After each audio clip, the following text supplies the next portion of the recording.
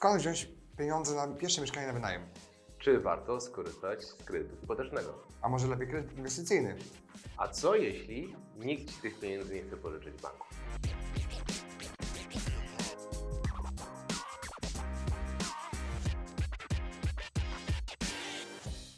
Bardzo często mieszkania na wynajem są kupowane przez osoby, które odłożyły sobie pieniądze, czy to ze swojego biznesu, czy z pracy na, na etacie.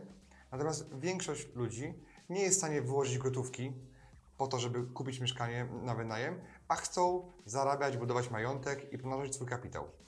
Wtedy z pomocą przychodzi kredyt hipoteczny. Kredyt hipoteczny jest idealny, jeśli masz pracę, jeśli masz normalne, stabilne zatrudnienie, umowę o pracę. Banki kochają takim osobom dawać kredyt i jest to podstawowa i najszersza metoda inwestowania w nieruchomości na wynajem poprzez finansowanie przez kredyt hipoteczny. Taki kredyt to jest najtańsze źródło finansowania. To jest najtańszy pieniądz możliwy, jaki jest. Dzisiaj on jest znacznie tańszy niż inflacja, czyli pożyczając pieniądze z banku na mieszkanie, generalnie można powiedzieć, że koszt kredytu jest dużo, dużo niższy niż spadek wartości pieniądza. A do tego kupujesz mieszkanie dziś, które za ileś lat będzie warte znacznie więcej pieniędzy, a kredyty nie są indeksowane podwójnie. Czyli to nie jest tak, że kupujesz coś za nie wiem, 300 tysięcy złotych, a to jest em, 100 minimalnych wynagrodzeń, powiedzmy, e, no to nie musisz oddać 100 minimalnych wynagrodzeń, jak będą po 6 tysięcy złotych, tylko dalej równowartość tych 300 tysięcy złotych plus odsetki. I tak jak Daniel powiedział, za jakiś czas te pieniądze będą znacznie niższe właśnie przez inflację, co oznacza, że zarabiasz na tym podwójnie. To znaczy, że dzisiaj kupujesz mieszkanie za kwotę X, jutro będzie ono, za 10 lat będzie ono warte 1,5, 2x, natomiast Twój kredyt będzie cały czas coraz mniejszy.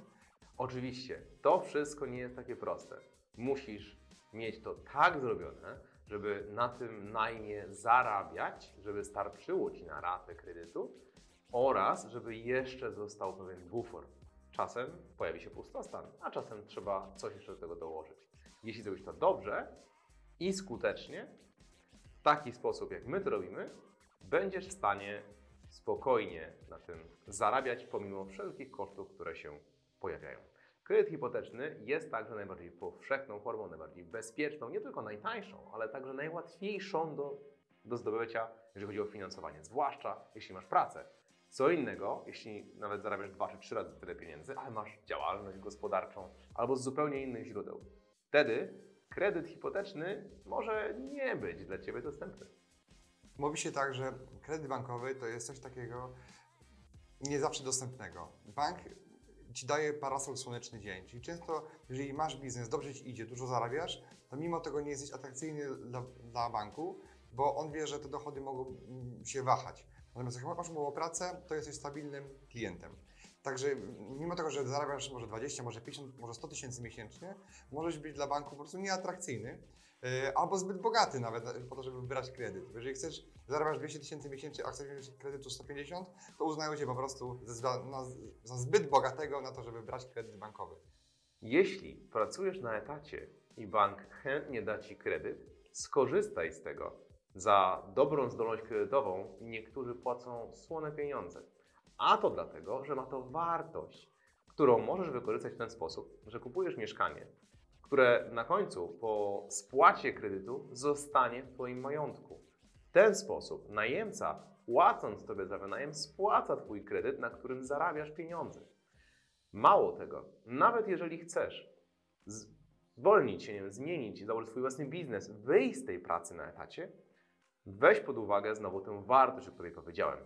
Są osoby, które specjalnie dłużej pracują na etacie po to, żeby zdążyć wziąć jeden, dwa, trzy kredyty, które będą budowały ich stabilność finansową. Paradoksalnie to brzmi, kredyt, żeby budowała stabilność, ale w tej metodzie, w, tej szale, w tym szaleństwie jest metoda, e, dlatego że to buduje majątek. Stąd wiele osób kupuje dwa, trzy mieszkania, a dopiero wtedy przechodzą na inną formę zatrudnienia, wykorzystując w pełni wszystkie możliwości, które mają przed sobą. Jak to możliwe, że inwestowanie w kredycie jest bezpieczne? A tak, trzeba używać pewnych zasad, y, którym dobry inwestor się zawsze kieruje. Czyli może pomyślisz sobie, co będzie w stacji pracy, nie będę mógł tego kredytu spłacić. Od tego jest pewien bufor, y, pewna kwota, którą sobie musisz założyć na 2-3 lata spłacania tego kredytu. Nawet gdybyś nie miał najemcy przez długi okres, gdyby coś się wydarzyło, to ty tak ubezpieczony y, zawsze sobie poradzisz. No i pamiętajmy o finansowaniu równoległym. Które daje Ci możliwość kupowania kilka mieszkań w jednym czasie naraz. Kredyt inwestycyjny jest nieco droższy od kredytu hipotecznego. Kredyt hipoteczny bierzesz na własne cele mieszkaniowe, a kredyt inwestycyjny, tak jak nazwa wskazuje, bierzesz na inwestycje. Kredyt inwestycyjny jest nie tylko droższy, ponieważ są wyższe odsetki, ale też jest na często krótszy okres, przez to rata jest o wiele większa, dlatego jego bezpieczeństwo jest czasem po prostu mniejsze, bo mamy wyższą ratę, czasami nawet dwukrotnie wyższą, więc musimy mieć dużo, dużo wyższy czynsz albo udział własny w inwestycji. Kiedy kupujesz mieszkanie na wynajem em, i przyznasz się w banku, że to jest na wynajem, kredyt hipoteczny nie będzie dla Ciebie dostępny. Będziesz musiał wziąć kredyt inwestycyjny.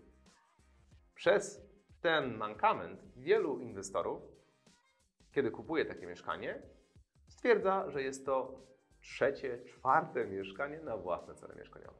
Kredyt inwestycyjny opłaca się wziąć, jeśli kredyt hipoteczny jest dla Ciebie niedostępny.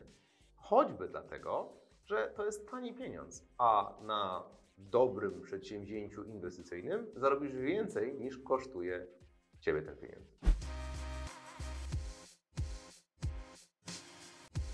A może zastanawiałeś się, co zrobić, jeśli kredyt hipoteczny, czy kredyt inwestycyjny, czy jakikolwiek kredyt bankowy jest dla Ciebie niedostępny? Są jeszcze inne alternatywne możliwości finansowania zakupu nieruchomości bądź zarabiania na zakupie i na wynajmie. Najprostsza rzecz, zwróć się do kogoś, kto Ci ufa i postaraj się pożyczyć od nich pieniądze. Albo zdobądź wiedzę, jak kupić mieszkanie okazyjnie. Znajdź osobę, która sfinansuje Ci ten zakup, bo będzie miała w tym interes.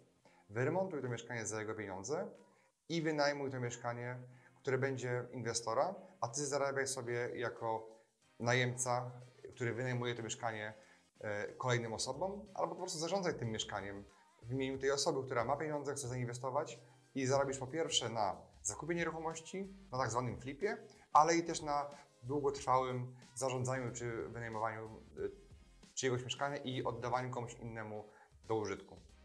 Jest to prosta i skuteczna metoda na to, aby wejść aktywnie w rynek nieruchomości, dotknąć go, obeznać się ze wszystkimi elementami, które tam są, nie posiadając mieszkania ani kapitału. Jedyne, co musisz posiadać, to jest wiedza, jak to zrobić. Podsumowując, znajdujesz mieszkanie poniżej wartości rynkowej, przygotowujesz to mieszkanie w odpowiedni sposób do najmu, a później sprawiasz, żeby właściciel tego mieszkania zarabiał odpowiednie pieniądze od najemców, dobrze Ciebie co miesiąc wynagradzając. Jeśli nie masz innej możliwości, znajdujesz inwestora, który za Twoim wskazaniem nabędzie nieruchomość, którą później Ty wyremontujesz również za jego pieniądze, sprawisz, że to mieszkanie będzie zarabiało dobrze dla właściciela, a właściciel przez to będzie Ciebie regularnie co miesiąc za Twoją pracę wynagradzał. Żeby inwestować w nieruchomości, wcale nie trzeba mieć kapitału ani żadnych pieniędzy. Gdybym ja uważał, że trzeba mieć pieniądze, żeby zacząć inwestować w nieruchomości, do tej pory tych pieniędzy bym nie zarobił. To właśnie wiedza albo przekonanie, że da się robić pieniądze w nieruchomościach bez pieniędzy, dała mi właśnie dojść do kapitału, którym obecnie dysponuję. Bo razem z Robertem mamy 83 mieszkania na wynajem, gdzie my żyjemy dzisiaj z najmu. Jeżeli dzisiaj nie masz gotówki na pierwsze mieszkanie, to pamiętaj, są sposoby na to, żeby nabywać je bez pieniędzy.